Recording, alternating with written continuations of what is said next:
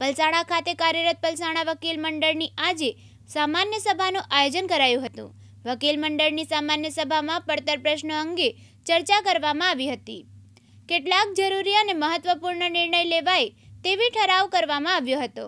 પલસાણા તાલુકામાં હાલ બે જુનિયર ડિવિઝન સિવિલ કોર્ટ કાર્યરત છે, જો કે પલસાણા તાલુકાની હુકુમતના કેસો અગાઉ બારડોલી જ્યુડિશિયલ, મેજિસ્ટ્રેટ અને સિવિલ કોર્ટમાં ચાલતા હતા. ત્યારબાદ કઠોર ખાતે સિનિયર ડિવિઝન સિવિલ કોર્ટ શરૂ થતાં બારડોલી જતા કેસો કઠોર કોર્ટમાં મોકલવામાં આવતા હતા.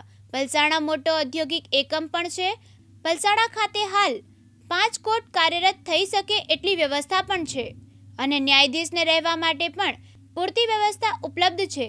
જેથી પલસાણા ખાતે સિનિયર ડિવિઝન સિવિલ કોર્ટ તથા એડિશનલ ડિસ્ટ્રિક્ટ જજની કોર્ટ ફાળવવા માટે વકીલ મંડળની સભામાં આજે ઠરાવ કરાયો હતો. ચિરાગ દેસાઈ એડવોકેટ પલસાણા બાર એસોસિએશનના પ્રેસિડન્ટ અને મારી સાથે મારા બાર એસોસિએશનના ઉપપ્રમુખ બળવંત પરમાર, નોટરી સાહેબ. હવે અમારે એડિશનલ સેશન્સ જજ માટે અને એસડી માટે સિનિયર ડિવિઝન માટે ગઈ પચીસ જૂન બે હજાર એકવીસના રોજ કેબિનેટ મિનિસ્ટર આપણા ઈશ્વરભાઈ પરમાર, તેમને અમે રજૂઆત કરેલી, લેખિત રજૂઆત. એમણે છવ્વીસ તારીખે એટલે કે બીજા દિવસે એમના જે સચિવ છે, અંગત સચિવ, તેને સહીથી કાયદા વિભાગને તરત જ મોકલી આપ્યું એ ભલામણ. અને ત્યાર પછી પ્રદીપસિંહ જાડેજા સાહેબ કડોદા જીઆઈડીસી પોલીસ સ્ટેશનનું જે ઉદ્ઘાટનનું હતું, તેમાં પ્રદીપસિંહ જાડેજા સાહેબ શ્રીના હાથે વરદ હસ્તે ઉદ્ઘાટન કરવાનું હતું. એટલે રાજ્યના ગૃહમંત્રી પ્રદીપસિંહ જાડેજા સાહેબ પધારેલા. ત્યારે અમે પાછી અમને રજૂઆત કરી. એ રજૂઆતમાં એમણે બધું જોયું. ને એમણે કીધું કે અહીંયા આ લોકોની માગણી વ્યાજબી છે ને એમણે પછી એમના પર્સનલ સેક્રેટરીને કીધું કે આ લેટર બીજે દિવસે કાલે હાઈકોર્ટ સેક્રેટરીને તમે ફોરવર્ડ કરો અને હું પછી પાછો બીજો એક લેટર ફોરવર્ડ કરું છું. એટલે અમને આશા છે કે અહીંયા અમને અમારી માગણી પૂરી થાય એવી અમને પૂરેપૂરી આશા છે અમને.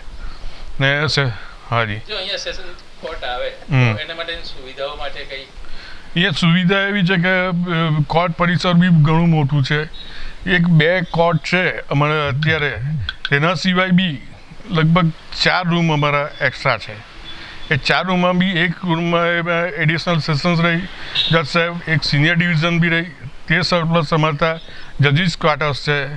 તે ક્વાર્ટર્સ બી ત્રણ ક્વાર્ટર્સ છે.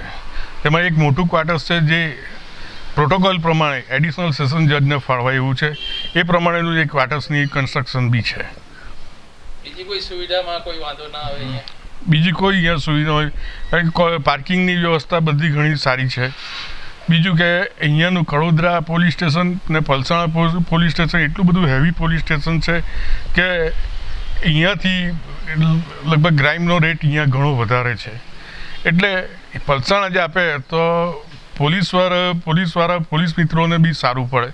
આ તો અમને જો કઠોળ એડિશનલ સેશન્સ કોર્ટ જજ આપે અમને, તો અમારે ચાલીસ કિલોમીટર દૂર જવું પડે. ટ્રાફિકને એના લીધે અમારું કામ બી આખું બગડે ને લીટીગંટે બી ત્યાં સુધી જવું પડે. આ તો અહીંયા પલસાણા ને પલસાણા આપે, તો અમારે પલસાણા તાલુકાને એનો ઘણો ફાયદો થાય એવો છે રમેશ ખંભાતી દિવ્યાંગ ન્યૂઝ કડોદરા